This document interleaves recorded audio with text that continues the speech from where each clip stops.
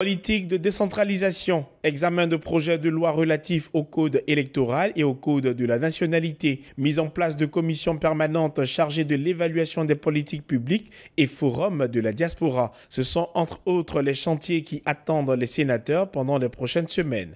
Au cours de cette année, nous emploierons, en collaboration avec le ministère des Affaires étrangères, de l'intégration africaine et des Ivoiriens de l'extérieur, en organisation effective d'un cadre de concertation avec la diaspora ivoirienne pour une représentation plus efficace en vue d'une meilleure participation au développement de la Côte d'Ivoire.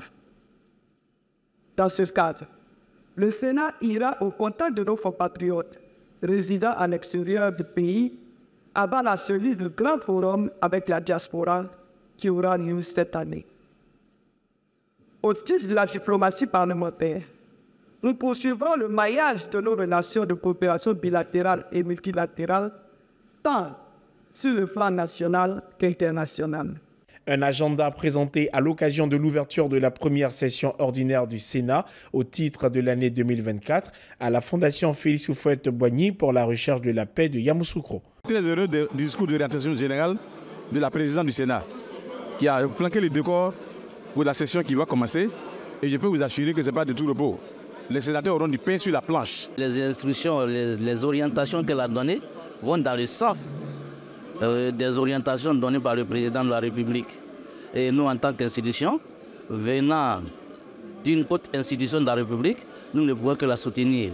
Candia Camara se réjouit de l'excellente organisation de la Cannes 2023 et de la qualité des infrastructures.